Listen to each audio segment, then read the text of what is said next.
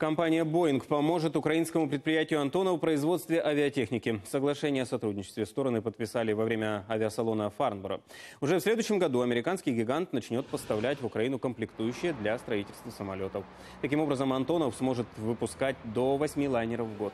Э, в нелегком положении предприятие оказалось в 2014 году.